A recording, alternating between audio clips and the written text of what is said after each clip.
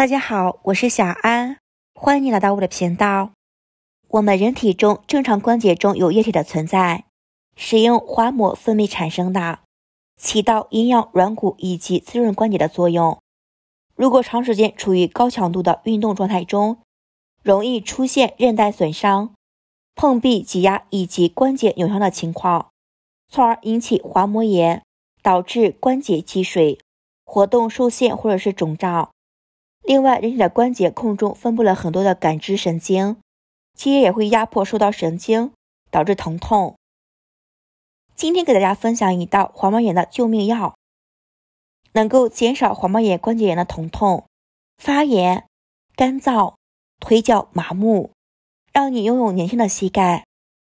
下面随着视频一起来看一下吧。我们先准备一把赤小豆。赤小豆是一种药食同源的食材，同时具有特别好的祛湿消肿的作用。赤小豆早在数千年之前就已经被古人视为祛湿治病的良药。《神农本草经》人们还特地的说，赤小豆乃药中之上品，有弱水消肿、消除盘肿的功效。由脾虚湿肾引起的四肢或者是面部水肿、腹部胀满、脚气水肿。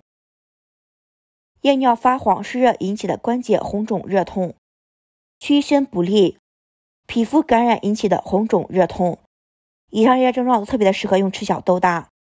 它对身体因运化不利引起的身体水肿有明显的消退作用，能加快人体内多余的水分代谢，可以让水肿尽快的消退。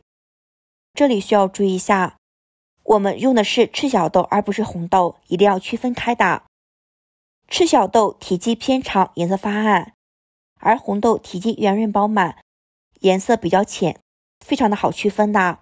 它们的功效不同，一定要区分对用对，那样能够更好的释放出作用的。再准备一把黑豆，中医认为黑色属水走肾，所以黑豆与补肾有滋养精血。经常吃黑豆可以缓解肾虚体弱、腰膝酸软。关节不利的症状，黑豆中含有特别丰富的维生素 E 和花青素，能够清除体内的自由基，有害衰老，可以增强活力，还含有特别丰富的泛酸，有无化的作用。黑豆有一个非常重要的作用，就是能够祛风解毒，所以对于滑膜炎，使用一些黑豆有特别好的效果。黑豆是五谷杂粮里面营养价值比较高的一种食物。日常生活中一定要多吃一些黑豆，煲汤喝、泡水喝都很好的。再准备一把薏米，薏米可以利水消肿、健脾祛湿，还能够清热排毒、镇静抗炎、降血压、降血脂、降低血糖、增强免疫力的作用。薏米性味比较干凉，能够入脾肺和肾经，里面的营养成分特别的丰富。含有非常丰富的氨基酸、蛋白质、脂肪、碳水化合物和维生素等药理成分，也是一种特别好的保健食品。根据临床的经验中，用薏米治疗关节滑膜炎效果更加大。下面我们把准备好的所有食材加入清水淘洗干净。食材看着比较干净，但是有灰尘杂质的，一定要洗干净，这样使用比较放心的。洗干净之后加入清水浸泡一个小时，因为黑豆。赤小豆、薏米特别的坚硬，不好煮熟的。泡过之后，煮熟的时间特别的快啦，不浪费时间，也不浪费煤气啦。再准备几颗芋头，用刮皮刀刮去外皮。这里需要注意一下，过敏的朋友们戴上手套操作，不然的话特别的痒的。既能够蒸着吃，也可以煮着吃，炒着吃也比较好吃的。它含有特别丰富的淀粉、脂肪、氨基酸。以及膳食纤维，还有各种微量元素和矿物质。经常吃能够为风湿关节炎患者提供丰富的营养物质，而且它与风湿关节炎并行的延缓作用。所以日常生活中一定要多吃一些的，可以维护身体的酸碱平衡。人体内部环境酸碱失衡之后，人类身体素质就会一直下降的，疾病也会随之而来。其实我们可以多吃一些。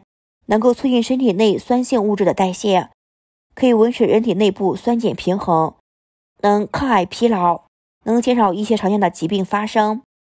下面我把我们准备好的所有食材倒入锅中，加入八百毫升的清水，盖上盖子，中火焖煮三十分钟。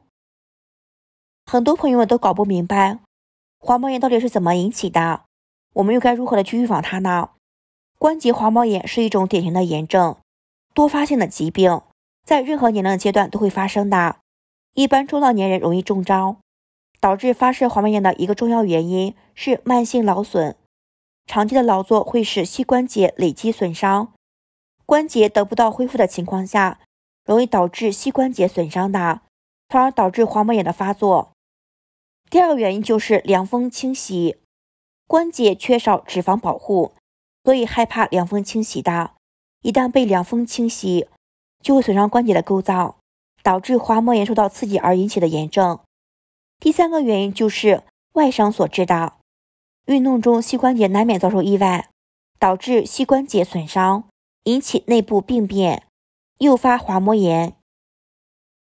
时间到，已经焖煮好了，里面的蔬菜已经煮的特别的软烂入味，像这样就可以啦。加入两颗冰糖调味儿，如果不喜欢吃糖的朋友们可以不放啦。搅拌搅拌搅拌均匀。亲爱的家人朋友们，制作视频不容易。请您发财的小手帮我点个赞，支持一下吧！您的每一个支持和点赞都是我前进的最大动力。感谢所有朋友们支持，谢谢大家。中医认为，滑膜炎是经脉受阻，治疗以利水渗湿、活血化瘀为主的。黑豆可以祛风活血，赤小豆能够消水肿、利水清热解毒，而薏米有利水渗湿。清热排毒之功效，芋头有清热解毒消暑的功效，几种食材对于治疗滑膜炎都有特别好的效果，同时对于治疗肩周炎、颈椎病也有很好的效果的。如果搭配着艾条来针灸一下，内外吸收，那么疗效会更加的翻倍的，可以缩短病程。这道汤我们可以一周煮上两到三次来喝，可以很好的缓解滑膜炎，对于滑膜炎患者有很多的益处的。如果有滑膜炎的患者，平时饮食中一定要注意的，饮食清淡为主，少吃油腻的食物。饭后我们散散步，走一走，这样有利于我们身体的健康。喜欢的朋友们不妨收藏起来试一试吧。好了，家人朋友们，今天的视频就分享到这里啦。如果觉得我的视频对您有所帮助，请您帮我点赞、关注、订阅我的频道，欢迎下方留言加一。我每天都会分享不一样的养生知识与您分享，感谢所有朋友们的支持，谢谢大家，我是小安，我们下期视频再见。